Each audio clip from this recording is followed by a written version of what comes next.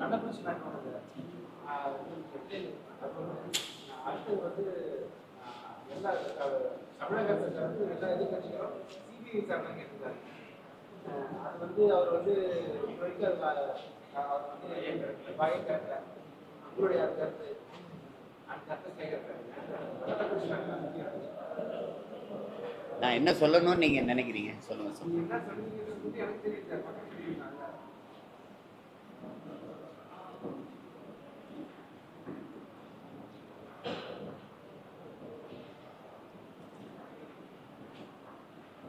ஒரு அறம் சார்ந்து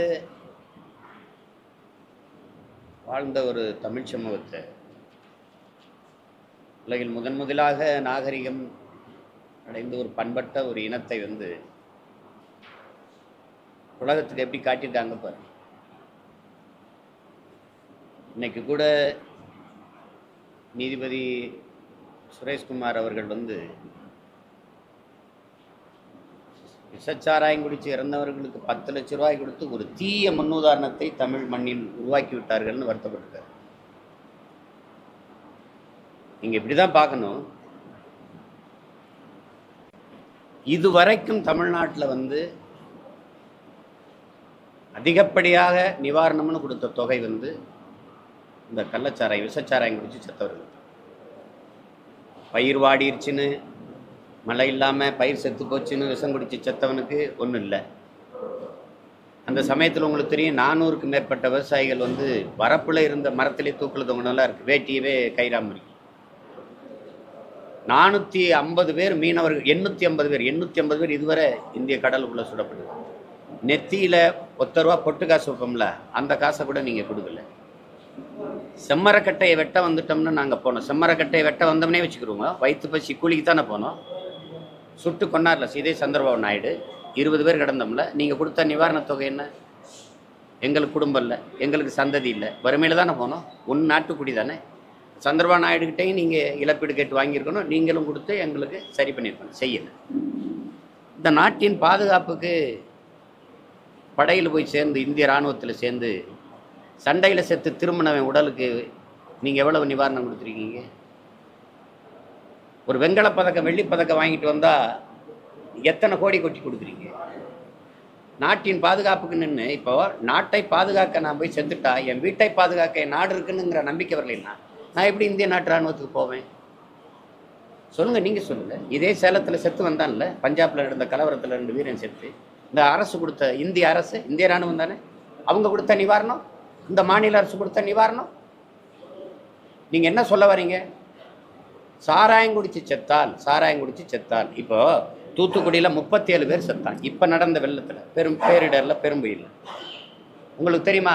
ஒருத்தருக்கு நூறு ஆடு வெள்ளத்தில் போயிடுச்சு அதோட அவன் பொருளாதாரம் முடிஞ்சிருச்சுல? எத்தனை மாடுகள் போயிடுச்சு தெரியுமா? எத்தனாயிரம் ஏக்கர் வாழை சாஞ்சிச்சு? எவ்வளவு கரும்பு தென்னை அழிஞ்சுது? என்ன நீங்கள் நிவாரணம் கொடுத்தீங்க? என்ன கொடுத்தீங்க? சாராயம் குடிச்சு செத்தால் பத்தாயிரம் கொடுக்குறேங்கிற ஒரு ஒரு ஒரு கலாச்சாரத்தை உருவாக்குவதை நீங்கள்லாம் ஏற்கிறீங்களா இது என்ன இது அறிவார்ந்த சமூகம் தானா? இதை படிச்சவங்க இருக்கிறது தானா? இது நாடு தானா இது? எப்படி ஏற்பீங்க சொல்லுங்க. அப்படி நிவாரணம் கொடுத்து ஆகணுமா? சரி கொடுக்கணும். அப்படின்னா இவ்வளோ காலம் சாராயம் வித்து அவன் சம்பாரிச்சான்ல?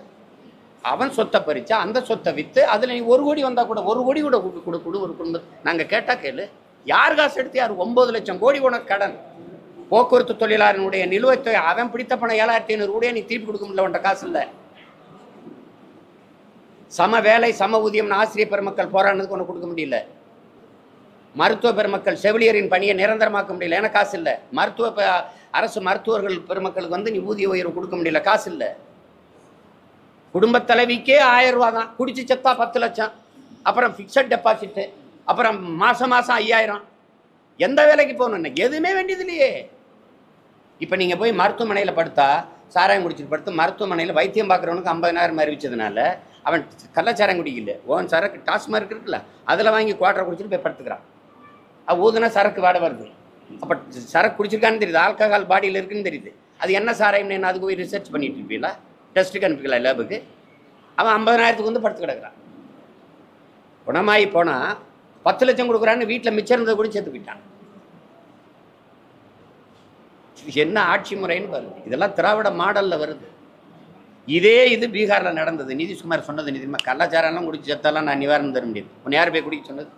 நீ கொழுப்படுத்து குடிப்பேன் அவன் பணத்துக்கு கொழுப்படுத்து போய் பணம் சம்பாதிக்க விற்பான் நேற்று இன்னைக்கா நடக்குது? ஏங்க ஒரு புயல் வருதுன்னா ஆய்வு செய்து ரெட் அலர்ட்னு போடுற ஆரஞ்சு அலர்ட்னு போடுற. அங்கே ஏற்கனவே மரக்கணத்தில் செத்துட்டான் பத்தொன்பது பேர். ஒரு கோடியே தொண்ணூறு லட்சம் நீங்கள் கொடுத்துட்டீங்க. அப்போவே நீங்கள் எச்சரிச்சு நீதிபதி கேட்குறாருங்க அப்போ நாடங்கு நீ எச்சரிச்சிருக்கணும்ல? அந்த மரணம் உனக்கு முன்மாதிரி அது தெரியாமல் நடந்துச்சுன்னு சொல்லுங்க. நான் ஒத்துக்கிறேன். இது தெரியாமல் நடந்துருச்சுன்னு எப்படி சொல்கிறீங்க உளவுத்துறை இருக்குது கியூ பிரான்ச் இருக்குது நீங்கள் சொல்கிற சிபிசிஐடி சோகால் இருக்குது அதுக்கப்புறம் விஜிலன்ஸ் இருக்குது அதுக்கப்புறம் மூலம் அங்கே அங்கே உள்ளூரில் கவுன்சிலர் இருக்கிறாரு அப்புறம் எம்எல்ஏ இருக்கிறாரு உங்கள் மட்ட செயலாக இருக்கார் மாவட்ட செயலாக இருக்கார். நீங்கள்லாம் இந்த ஊர் சார்ந்த நிருபர்கள் இருக்கிறீங்க. உங்கள் யாருக்குமே தெரியாதா இங்கே சாராயங்காய்ச்சி விற்கப்படுதுன்னு? சொல்லுங்க நீங்கள் தெரியாமல் நடந்ததுன்னு எப்படி சொல்லுவீங்க நீங்கள் அரசு தன் தவறை மறைக்க லஞ்சம் கொடுக்குது. தன் தவறை மறைக்க லஞ்சம் கொடுக்குது. அப்போ சாவலே புனித சாவு சாராயம் குடிச்சு சாகிறது தான் இது ஒரு சரித்திர நிகழ்வு தப்போ? அப்படித்தானே வருது? இவங்க குடி எடுக்கிறவங்க தாலி இருக்கிறவங்க கிட்ட போய் நாட்டை கொடுத்துட்டு நீங்கள் குடிக்க வச்சு கொலை பண்ணுறவன்ட்டு குண்டு போட்டு கொள்றதான் பல படுகொலையா? குடிக்க வச்சு கொள்றது இல்லை அது கொலை இல்லை.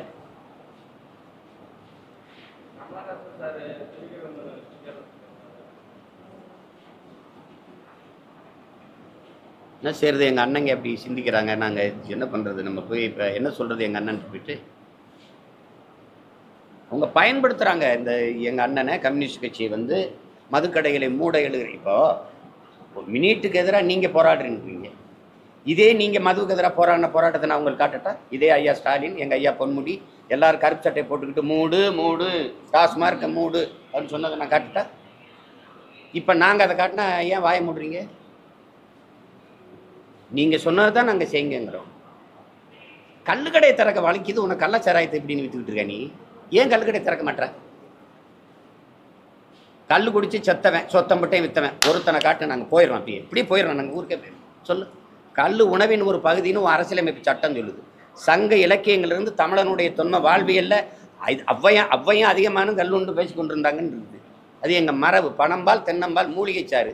இவ்வளோண்டு அருகம்புள்ளிச்சாறு கோதுமை புள்ளிச்சாறு உடலுக்கு நல்லதுங்கிற. அது எவ்வளோ பெரிய மூலிகை? இயற்கையின் அருண் கூட அதை குடிச்சிட்டு போகிறானே இதே அறுபது ரூபாய்க்கு ரெண்டு சம்பத்து கல்லை வாங்கி குடிச்சிட்டு வீட்டுக்கு போயிடுவான்ல எந்த மதமும் போதும்னு சொல்ல மாட்டான். கல் குடிச்சா போதும்னு சொல்லிடுவான். ஏன்னா அது உணவு. நீ அதை திறக்க மாட்டேங்கிற? கேரளாவில் இருக்குது புதுச்சேரியில் இருக்குது கர்நாடகாவில் இருக்குது ஆந்திராவில் இருக்குது கல் ஏன் உன் மாநிலத்தில் இல்லை? ஏன்னா ஏன் இல்லைன்னா உங்கள் ரெண்டு பேருக்கும் ஃபேக்ட்ரி இருக்குது சாராயம் காய்ச்சறது நீங்கள் அந்த ஆலையில் வந்து சரக்கு எடுக்கிறது குறைஞ்சிரும். டாஸ்மார்க் வியாபாரம் அரசு கொண்டு போகுது. அங்கே சரக்கு டாஸ்மார்க் வரதுல ஃபேக்ட்ரி அந்த வியாபாரம் யாருக்கு? அப்போ இந்த கல்லுக்கடையை திறந்து விட்டா விவசாயி வாழ்ந்துருவான். எந்த விவசாயி வாழ்றத அரசு விரும்புது? மத்திய அரசா மாநில அரசா? எந்த அரசு விரும்புது? விவசாயி வாழ்ந்துருவான். குடியானவன் வந்து ரெண்டு போத்தலை குடிச்சுனா ரெண்டு செம்பை குடிச்சானா இருபது ரூபாய்க்கு ரெண்டு செம்பை குடிப்பான். அதிகபட்சமான ஒரு வடை சுண்டல் இது ஏதோ ரத்த பொரியல் இந்த ஊறுகாய் வைப்பான் சாப்பிட்டுட்டு போயிடுவான். நீங்கள் பார்த்துருப்பீங்க கல்லுக்கடையில் இன்றைக்கும் கேரளாவுக்கு போங்க. நீ எது கல்லுக்கடையை திறக்க மாட்டேங்கிற? ஏன்னா உன் உன்னுடைய ஃபேக்ட்ரி இங்கே மிடாஸ் இருக்குது அங்கே பெரிய ரெண்டு எல்- எல்லாருக்கும் இருக்குது அம்மா கனிமொழி அம்மையாருக்கு பேசுனதே இருக்குது நாங்கள் ஒரு ஆட்சிக்கு வந்தால் எங்கள் எங்கள் எங்கள் த திமுகவிலேயோ அவங்க சார்ந்த ஆலைகளும் மூடப்படும். டாஸ்மார்க்கும் மூடப்படும். இதெல்லாம் எனக்கு ஒன்றும் கிடையாது. அளவு கடந்த கோபம் தான் இவங்களை ஒழிக்காமல் இந்த நாட்டை சரி செய்ய முடியாது. பாமக நிறுவனர் ராமதாஸ் அவர்களுக்கும் தலைவராக இருக்கிறது நோட்டீஸ் அமைச்சிருக்காங்க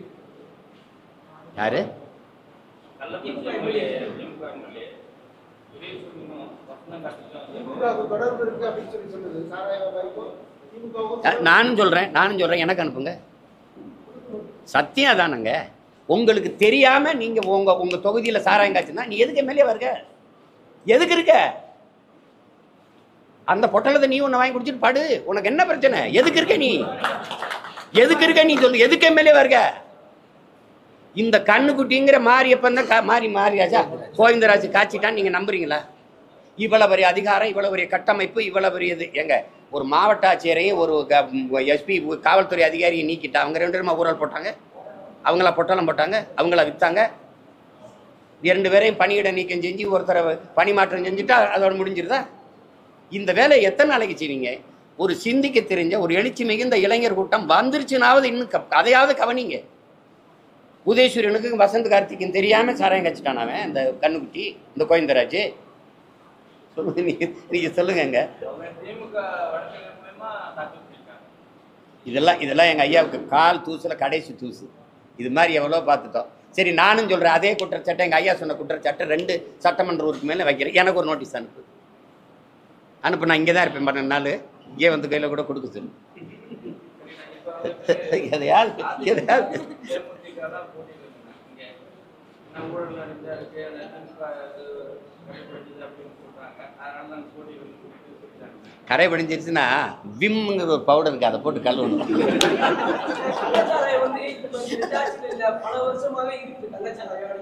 ஏய் ஏதாவது பேசிட்டு எங்கள் தாத்தா காலத்தில் சா மதுக்கடை இல்லைங்க காமராஜ் காலத்தில் இல்லைங்க ராஜாஜி காலத்தில் இல்லைங்க பக்தவச்சலம் காலத்தில் இல்லைங்க கள்ளச்சாராயம் இருந்ததாங்க. யாராவது ஒருத்தர் சொல்லுங்கங்க. ஏ சொல்லுங்க. நீங்கள் கேள்வி கேட்குற நீங்கள் சொல்லுங்க. ஒழிக்க எனக்கு அதிகாரத்தை கொடு. ஒழிக்கணும்னு நினச்சா ஒரு நொடி வேலைங்க. ஒரு நொடி வேலை ஒரு நொடி. அவ்வளோதான் அது முடிஞ்சிடும். இதை போட்டு பேசிட்டு இருக்கிறீங்க நீங்கள் விற்கிறதே நான் தானுங்க.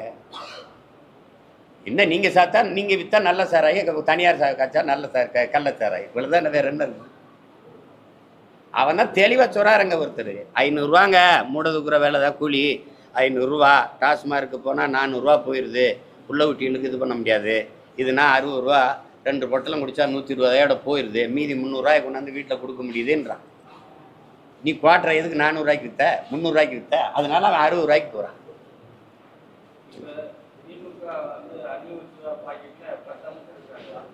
எதில்? திமுக இந்தியா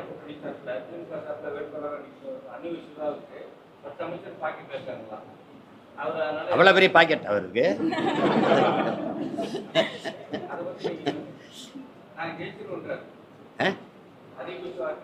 சரி ஜெயிச்சு என்ன பண்ண போறீங்க? என்ன பண்ண போறீங்க?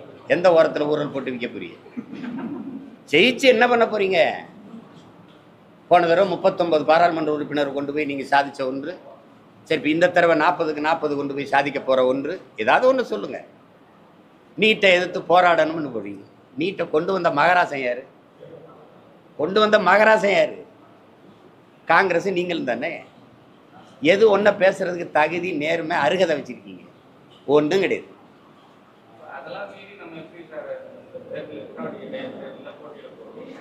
நீங்கள் சொல்கிறீங்களா அதையெல்லாம் மீறி தான் அதையெல்லாம் மீறி தான் ஜெயிக்க போகிறோம் பாமக வந்து இப்போ எடுக்கப்பட்ட அலுவலி பார்த்தீங்கன்னா பணிபுரம் இல்லையா அவர் நேர்மையானவராக இருந்து ஜெயிச்சிருக்காங்க அதனால் பாமக வந்து எங்களுக்கு வந்து வாக்களிப்பாங்க அதிமுக ஓட்டு எங்களுக்கு எங்கள் ஐயாவுக்கும் கிடையாது. எங்களுக்கு திமுகவும் தான். திராவிடமா தமிழ் தேசியமாங்கிறது தான் நீங்கள் ஏன் எங்களுக்கு எங்கள் ஐயாவுக்கும் இதெல்லாம் பேசாதீங்க. அதை பற்றி பேசவே நான் தயாராக இல்லை எங்களுக்கும் எங்கள் ஐயாவுக்கும் போட்டி கிடையாது. அது எங்கள் அது வேற. நாங்கள் எதிரியாக கருதுறது திமுகவை தான் இந்த களத்தில். அதனால போட்டி எங்களுக்கும் திராவிடத்துக்கும் தான். திராவிடமா தமிழ் தேசியமா. புரியுதா? இப்போ அனைத்து கட்சிகளும் வந்து சிபிஐ விசாரணை கேட்குறாங்க. ஆனால் ஒரு ஒரு இந்த கேள்வியில் அர்த்தம் நான் புரிஞ்சுக்கிறேன். வலிமை மிக்க காவல் படை உள்ளது உங்களுக்கு தெரியும். போலீஸ் விசாரணையில் பிரச்சனை என்ன? நீங்கள் சிபிசிஐடிக்கு மாற்றிருக்கீங்கிறீங்க எத்தனை வழக்கம் மாற்றிருக்கீங்க தங்கச்சி ஸ்ரீமதியிலிருந்து உங்களுக்கு தெரியும் தூத்துக்குடி துப்பாக்கி சூர்லேருந்து சிபிசிஐடி சிபிசிஐடி யார்கிட்ட இருக்குது அதுவும் முதலமைச்சர்கிட்ட. இப்போ எனக்கு இட்லி வேணாம்மான்னா இட்லி வேணான்னீங்கன்னா என்ன பண்ணு தோசை ஊற்றுட்டா சரி. மாவு அதே மாவு தான் ஊற்றுற மாஸ்டர் அது சேம் மாஸ்டர் தான். ஒரே மாவு ஒரே மாஸ்டர். ஏ, அந்த போலீஸ் விசாரிச்சா என்ன? சிபிசி இதுவரைக்கும் சிபிசிடி விசாரித்து நேர்மையாக இது கொடுத்து அப்படி நடவடிக்கை. ஒன்று சொல்லுங்கள் உங்களுக்கு என்ன? எத்தனை வருஷமாக நீங்கள் இருக்கீங்க? ஏதாச்சும். சரி சிபிஐ விசாரணையில் நேர்மையான ஒரு விசாரணை சொல்லுங்கள் சிபிஐ சிபிஐ இருக்கும்போதே என்ஐஏ வந்துச்சு. சரி வேணா என்ஐஏ விசாரணை கேளுங்க. என்னப்பா? நேஷனல் இன்வெஸ்டிகேஷன் ஏஜென்சிக்கு போங்க. ஏன்னா சிபிஐ சரியில்லைன்னு தான் பத்தாதுன்னு தான் நீங்கள் என்னையை கொண்டு வந்தீங்க? அது காவல்துறை விசாரணையிலேருந்து சிபிசிஐடிக்கு மாத்துறோம்னா மாத்திரியலா ஏன் மாத்திரியலான்னு தான் நீங்கள் கேட்கணும். ஏன் இந்த விசாரணை என்ன? நான் உங்கள்கிட்ட வெளிப்படையாக கேட்குறேன். விற்றுருக்கான் குடிச்சிருக்கான் செத்துருக்கான். தெரிஞ்சிருச்சு. குற்றம் நிகழ்ந்திருக்கு செத்துருக்கான். முடிவு தெரிஞ்சிருச்சு. இனி நடவடிக்கை தான் எடுக்கணுமே ஒழிய விசாரிக்கணும். கோகுல்தாஸ் தனி நப- தனி நீதிபதி விசாரித்து மூன்று மாதத்துக்குள்ளே அறிக்கை. அது ஏன் மூன்று மாதத்துக்குள்ளே? மூன்று மாதத்துக்குள்ள மறந்துடுவான் மறந்துடுவான் போய் கள்ளக்குறிச்சியில் கேளுங்க அந்த கட்சிக்காரன்ட்ட கேளுங்க கருணாபுரத்துக்கு கேளுங்க அது தளபதி பார்த்து பாருங்க அங்கங்கே நாலு திமுக கை- கை- கைக்கூலி இருக்கும். அது என்ன பண்ணும்? தளபதி பார்த்துப்பாங்க. நாங்கெல்லாம் போராட்டத்துக்கு போவோம். ரெண்டு பேர் உள்ளே இருப்பான். அவன் அப்படிலாம் பேசக்கூடாது. அங்கேருந்து சவுண்ட் விடும் அதெல்லாம் தேவையில்லாதது அப்படிமா ஏய் ஓப்பா அப்படின்னு.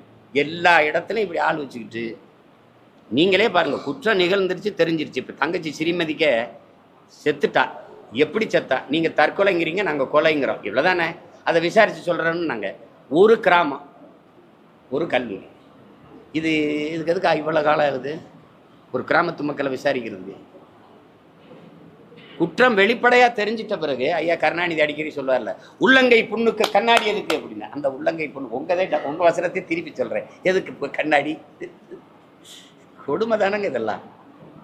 இந்த இப்போ தூத்துக்குடி துப்பாக்கி சூட்டுக்கு வந்து நீங்கள் அம்மா அருணா ஜெகதீஷன் மூலமாக ஒரு விசாரணை கமிஷனை போட்டி அந்த விசாரணையில் வந்து மூணு மணி நேரம் நின்று விளக்கம் சொன்ன ஒரு கட்சி தலைவரில் நான் தான் இருக்கேன். நான் இருக்கேன். மூணு மணி நேரம் நான் அதுக்கு விளக்கம் அம்மா அறிக்கை தாக்கல் பண்ணிட்டாங்க. தாக்கல் பண்ணிட்டாங்கங்கிறதே வெளியில் தெரியாமல் வச்சுருந்தீங்க. அங்கே வேலை செஞ்ச ஒரு ஒரு நல்ல பிள்ளை எடுத்து வெளியிட்டுட்டான் பாருங்கள் ஆறு மாதத்துக்கு முன்னாடி தாக்கல் பண்ணிட்டேன். எந்த நடவடிக்கை இல்லையே. ஐயா நீதிபதி சங்கர் தலைமையில் நீட்டுக்கான ஒரு விசாரணை போட்டீங்க. அவர் அறிக்கை தாக்கல் பண்ணார். என்ன நடந்திருக்கு? ஐம்பது லட்சம் கையெழுத்து வாங்கினீங்க. யார்கிட்ட கொடுத்தீங்க? சேலம் மாநாட்டில் ஒரு ஓரத்தில் வச்சுருந்தீங்க. அதுக்கப்புறம் அது எங்கே? யார்கிட்ட கொடுத்தீங்க? பிரதமரை போய் உங்கள் அப்பா சந்திச்சாரு நீங்கள் சந்திச்சீங்க. எல்லாரையும் சந்திச்சீங்க. நீங்கள் அந்த அப்போ கொஞ்சம் கொடுத்தீங்களா? அந்த பாருங்க இத்தனை லட்சம் பேர் அதுக்கு எதிராக இருக்காங்க. கொடுத்தீங்களா இப்போ நாற்பது உறுப்பினர் வச்சுருக்கீங்களே. ரோட்டில் இறங்கி ஏன் நீட்டுக்கு எதிராக போராடுறீங்க? அங்கே பாராளுமன்றத்தை முற்றுகிட்டு போராடி கதறடிங்கிற அப்படி ஏதாவது நடக்குதா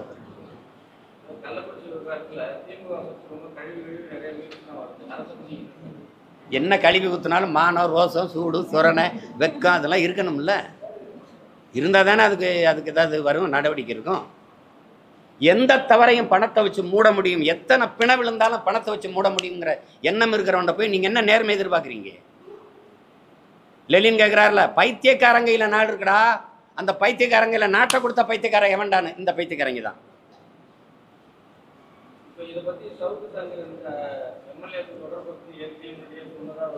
அதை நான் ஏற்கிறேன். எங்கள் ஐயா சொல்லியிருக்காங்களே அந்த கருத்தை ஏற்கிறேன். எங்கள் ஐயா கொடுத்த நோட்டீஸை எனக்கும் கொடுங்க.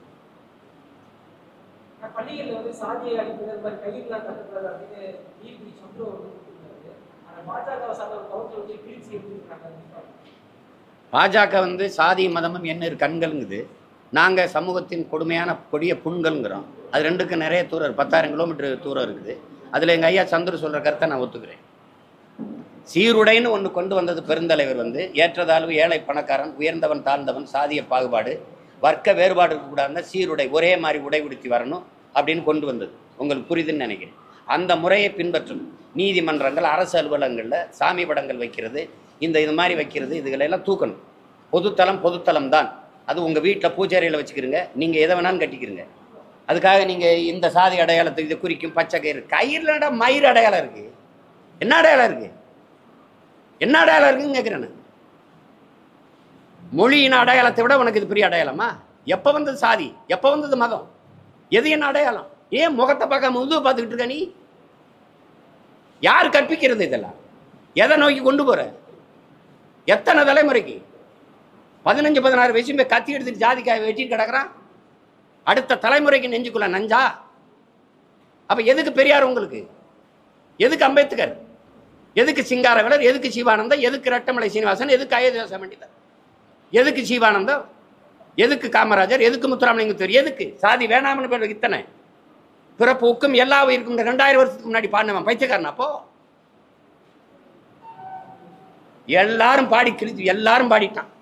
யார் மேலே கீறினாலும் ரத்தம் ஒன்று தான் ஆக மொத்தம் நீ நானும் பத்து மாதம் கடைசி எங்கள் தாத்தனும் பாடிட்டான் பட்டுக்கோட்டை. என்ன என்ன என்ன நடந்திருக்கு மாறுதல்?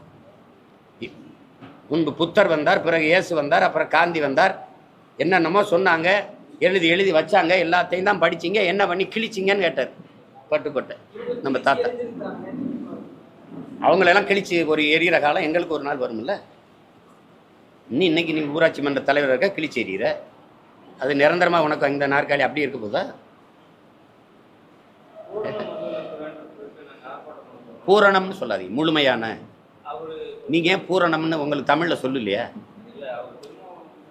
பூரணம்னு ஏன் சொல்றீங்க? பூரணம் ஜம்பூரணம். முழுமையான முழுமையான மது விளக்கு வேணும். எங்க அண்ணன் கேட்குறாருல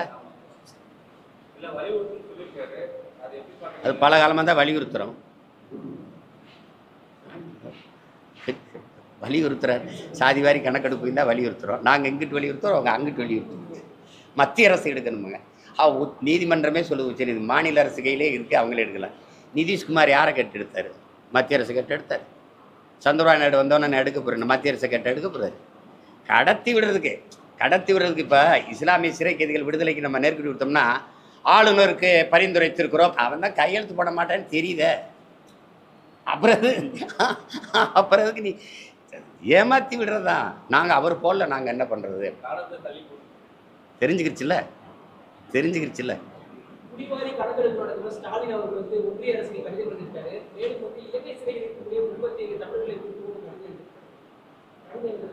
ஏங்க இமெயிலு இன்டர்நெட்டு இன்ஸ்டாகிராம்லாம் வந்த காலத்தில் போஸ்ட் மாஸ்டரை கொண்டு நீங்கள் முதலமைச்சர் ஆகினீங்கன்னா நான் என்ன பண்ணுறது ஒன்று போஸ்ட் மாஸ்டர் இல்லைன்னா சாராய தொழிலதிபர். இந்த கள்ளச்சாராய கள்ளக்குறிச்சியை கள்ள சாராய குறிச்சியை மாத்திரத்தை தவிர நீங்கள் சாதிச்சது என்ன இருக்கு சொல்லுங்க என்ன இருக்கு? நீங்க ஆ? இதை சொல்வதற்கு இருக்கா உங்களுக்கு மனசாட்சி? அதான் என் கேள்வி. என்னங்கய்யா ஏ நீங்க சொல்லுங்க. இப்பதானே வந்திருக்கோம் இன்னும் பன்னெண்டு நாள் இருக்கு. பெரிய கச்சேரி இருக்கு. ஒரு கேள்விக்கு பதில் இருக்காது. ஒரு கேள்விக்கு பதில் இருக்காது. கடைசிக்கு விலை ஏறும். ஐயாயிரம் பத்தாயிரம் வரைக்கும் ஒரு ஓட்டுக்கு போக வாய்ப்பு இருக்கு. ஏன்னா ஒரு அமைச்சர் இருபது கோடி போடணுமா? அது எல்லா அமைச்சரும் இங்கே வரணுமா? அது முதல்ல கொஞ்சம் அமைச்சர்கள் வேலை செஞ்சால் போதும்னு நினச்சிருக்காங்க. சீமா வேற நிற்கிறான் ஒரு வேலை அதிமுக தேமுதிகலாம் அவனுக்கு போட்டுருச்சுன்னா என்ன பண்ணுறதுங்கிறதுனால இப்போ இருபது கோடி முதலீடு பண்ணி ஒவ்வொரு அமைச்சரும் வேலை செய்யணும். இருட்டு வீட்டுக்குள்ள திருட்டு கோழி பிடிப்பாங்கல்ல அந்த கதை தான் நடக்கும். யாராவது வந்து எங்களை மாதிரி மேடை நின்று என் தங்கச்சி போல் எங்களை போல் நின்று பேசணும் ஈரோடு இடைத்தேர்தலை விட இந்த இடைத்தேர்தல் பெருமளவு பேசப்படும் பேசப்படும் பேசப்படும்னா என்ன? பணம் அள்ளி வீசப்படும். ஏன்னா கள்ளச்சாராய சாவு வந்து எங்களை பாதிக்கலை. அப்படின்னா அவங்க காட்ட வேண்டிய கடமையும் பொறுப்பும் தார்மீகமும் அவர்களுக்கு கையளிக்கப்பட்டிருக்குது இல்லையா? ஏன்னா அவங்க சத்தியவான்கள் உத்தம புத்திரர்கள்.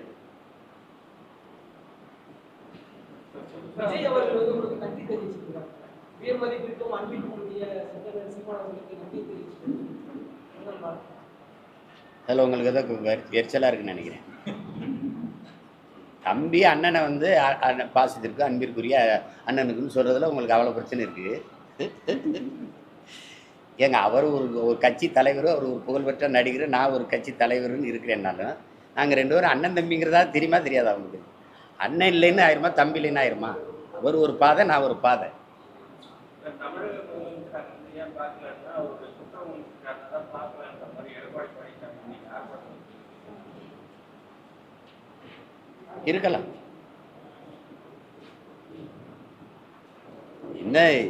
சரி பார்த்து இறந்தவர்களாக உயிர்ப்பிச்சிருவாரா உயிர்ப்பிச்சிட போகிறாங்களா அதெல்லாம் ஒன்றும் இல்லைல்ல. எப்போவுமே தவறை ஒத்துக்கொண்டு தொடர்வண்டி விபத்துக்கு பொறுப்பேற்று விலகிய மத்தியம் லால்பதி சாஸ்திரி மாதிரி தலைவர்களாக இருக்கிறார் குறைஞ்சபட்சம் சட்டமன்ற உறுப்பினர்களாவது விலகி இருக்கலாம்ல. என் தொகுதியில் நடந்துருச்சு நான் அதுக்கு வருந்துறேன். அப்படின்னு விலகி இருந்தால் அது ஒரு நேர்மையாவது பார்க்கப்படும். நீங்க நான் திரும்ப திரும்ப கேட்குறேன் கண்ணுக்குட்டிங்கிற அந்த கோவிந்தராஜா அவருடைய அம்மா ஜா- ஜானகியா? அவங்க பேர் ஜெயாவா?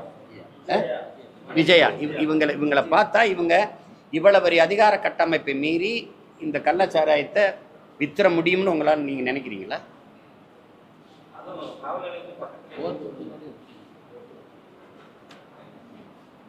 எதுவுமே தெரியலையேன்னு சொல்றதுக்கு எதுக்குங்க ஒரு அதிகாரம்? எதுக்கு இவ்வளவு படை இவ்வளவு நிர்வாக கட்டமைப்பு இதுக்கு ஒரு முதலமைச்சர் இதுக்கு ஒரு உளவுத்துறை இதுக்கு இதுக்கு ஒரு உள்துறை இதெல்லாம் நீங்களே யோசிச்சு பாருங்க.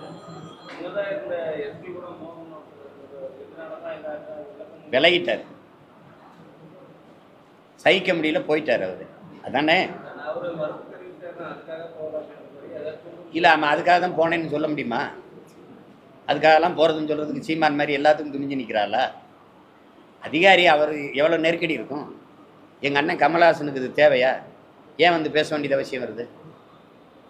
அந்த கருத்தை எப்படி பார்க்கறது? எல்லாரும் என்கிட்ட கேட்குறாங்க என்னங்க ஆச்சு உங்கள் அண்ணனுக்கு? எங்கே இப்படி போயிட்டுருக்காரு நான் போய் அவர்கிட்ட என்ன சொல்கிறது நாங்கள் சிறு வயதுலேருந்து அவரை நேயிச்சு மதித்து வளர்ந்த பிள்ளைகள் நாங்கள் அவருக்கு இனிமே ஒரு புகழ் வேணுங்கிறதெல்லாம் இல்லை. அவர் அளவுக்கு புகழ் பெற்ற இங்கே ஒன்றும் ஒரு க கலைஞன் ஒன்றும் இல்லை ஒருத்தர் இல்லை. அவர் உலக புகழ் பெற்றுட்டார். ரெண்டாவது அவர் சொல்கிற கருத்தை பாருங்கள் குடிக்காதீங்கன்னு சொல்ல முடியாது. குடிக்காதீங்கன்னு சொல்ல முடியாது அது. கொஞ்சமாக குடிங்க அளவாக குடிங்க. அப்படின்னா என்ன பண்ணும்?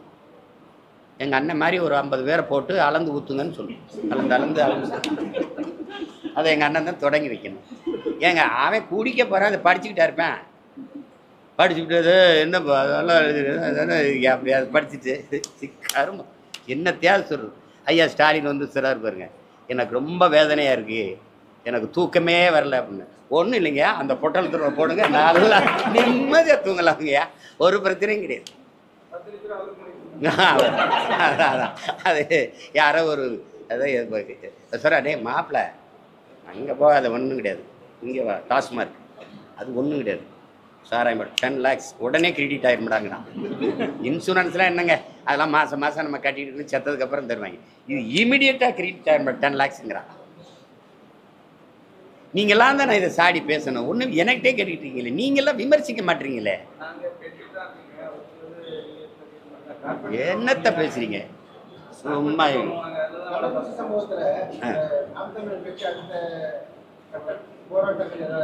எங்களுக்கு அது இல்லை வேலை அது இல்லை.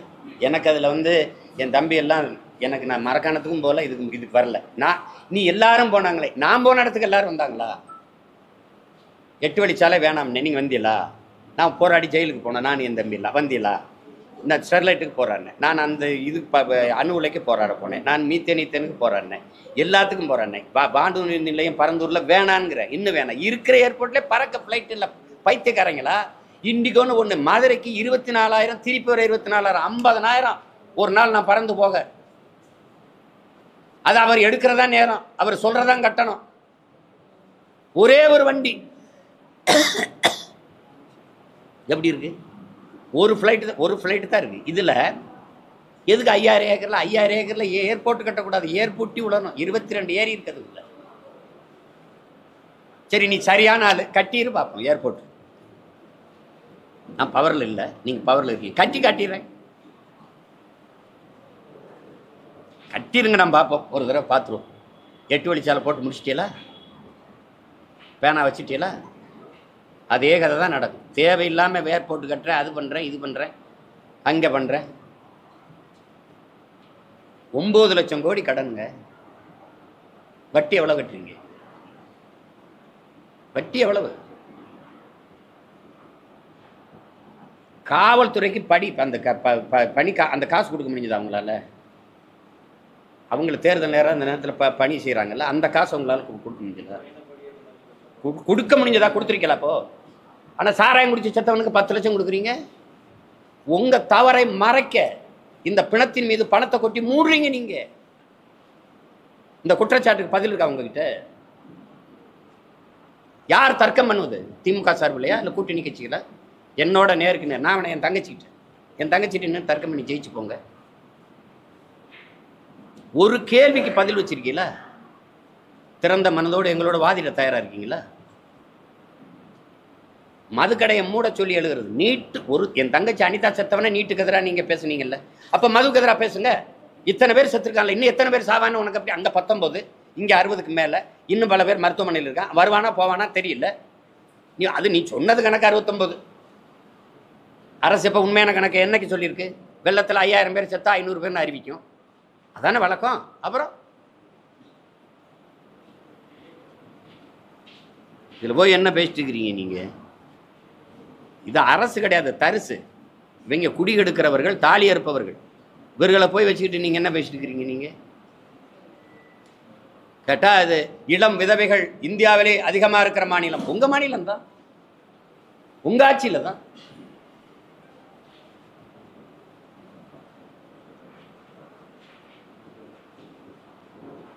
நீ மனசாரியம் ஒரு ராணுவ வீரன் செத்து வந்தான் அவனுக்கு ஒரு கோடி கொடுத்தாங்க அப்படின்னா சரி என் விவசாயி செத்துட்டான். உலகத்துக்கு சோறு போடுற உழவர் குடி. அவன் செத்துட்டான். சரி இப்போ விவசாயி அவனுக்கு ஒரு பத்து லட்சம் கொடுப்பான் குடும்பம் இருக்கு. என் செம்மரக்கட்டையை வெட்டணும் போன கூலிக்கு தான் பண்ண வயிற்று பசிக்கு. என் மீனவ சொந்தங்கள் சுடுவான்னு தெரியுது. போகிறேன் ஏன் பாரு படகை பறிச்சு பசி குடும்பத்தை காப்பாற்றணும் அவன் செத்து போனான். அவனுக்கு ஏதாவது நிவாரணம் கொடுத்துட்டா கூட போதும். சாராயம் குடிச்சு சாகிறவனுக்கு போய் சட்டப்படி தவறு. அந்த தவறை செய்கிறவனுக்கு நீ சட்டப்படி நிர்வாண தொகை நிவாரண தொகை ஊக்கத்தொகை கொடுக்குற. சட்டப்படி கொடுக்குற. அரசு கொடுத்து ஊக்கப்படுத்துது. தவறு செய்கிறதுக்கு நீ அந்த சாராய வாரியை கைது பண்ணி கைது பண்ணிடல அந்த அவன் சொத்தப்புறம் பறித்து விற்று எங்க ஆயிரத்தி ஐநூறு பேர் மேலே ஏதோ வழக்கு போட்டு கைது பண்ணேன்னு நீங்கள் மரக்கணத்தில். இங்கே எத்தனை பேர்? இந்த கண்ணுக்குட்டி தான் இத்தனை காலம் விற்று என்ன சொத்து வச்சிருக்கேன் அவன் வீட்டை போய் பார்த்தா கோழிக்கூடு கூட கொஞ்சம் பெருசாக இருக்கும் போல அப்போ வித்தவன் வேறு இடத்துல இருக்கான்ல? அவன் சொத்தை பறித்து அதிலிருந்து விற்று நீ ஒரு வீட்டுக்கு ஐம்பது லட்சம் ஒரு கோடி கூட கொடு. இறந்த குடும்பத்துக்கு நாங்கள் எதாவது கேட்டால் எங்களை கேட்டோம் அது இல்லாமல் சும்மா மக்கள் காசை எடுத்து எடுத்து கொண்டு கொடுத்துக்கிட்டு இ- நாளைக்கு ஒருத்தன் ஜாவன் சாராயம் குடிச்சு அவனுக்கு பத்து லட்சம் பத்து லட்சம். இது என்ன வேலை இது? நல்ல அணுகுமுறை இல்லை. இது நல்ல ஆட்சியின் நல்ல நிர்வாகம் இல்லை. இது கேவலம் கேவலம் இது